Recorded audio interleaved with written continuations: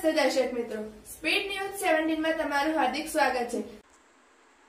બનાસકાંઠા જિલ્લામાં બીપરજોય વાવાઝોડાને લીધે ખેડૂતોને મોટું નુકસાન થવા પામ્યું છે.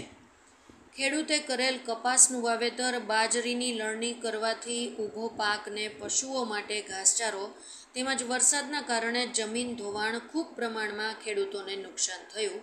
જેથી પાક અને જમીન ધોવાણ પણ મોટા પાયે નુકસાન થયું હોવાથી જલ્દી સર્વે કામગીરી કરીને સરકાર સહાય આપે તેવી રજૂઆત સાથે આવેદનપત્ર આપ્યું. ખેડૂત સંગઠન દ્વારા બનાસકાંઠા જિલ્લાના ખેડૂતોને તાત્કાલિક ધોરણે સર્વે રિપોર્ટ કરીને સહાય ચૂકવાય તે માટે આવેદનપત્ર આપવામાં આવ્યું.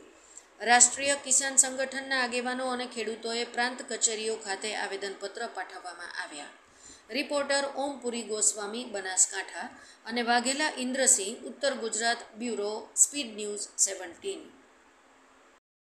સત્તર તારીખની મધરાતે જે પૂર આવ્યું, તેમની અંદર ખેડૂતોના ઊભા પાક અને લણણી કરેલા કાપ, ઉનાળુ બાજરીઓ અને જમીન ધોવાણ મોટા પ્રમાણમાં અમુક ગામડાઓ તો ખૂબ નુકસાન છે. શેરગઢ ભાઈ પાટી જડિયા, જીવાણા, હડતા. એટલે આ ગામમાં મેં સરકાર તરત જે સર્વે કરી અને તાત્કાલિક ધોરણે ખેડૂતોને કંઈક આપે તેવી અમે આજે પ્રોત સાહેબને આવેદનપત્ર આપી અને રજૂઆત કરી છે.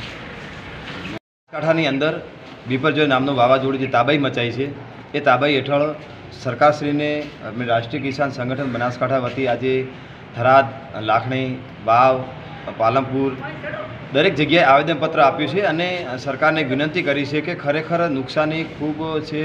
ખેડૂતોનો જે પાક હતો એ ખેતરની અંદર ઉગી ગયો છે, સડી ગયો છે અને મામલો જે બાજરીનો પાક છે એની અંદર નુકસાન છે. સાથે સાથે બાગાયતી પાકની અંદર નુકસાન છે અને પશુઓની અંદર પણ નુકસાન છે.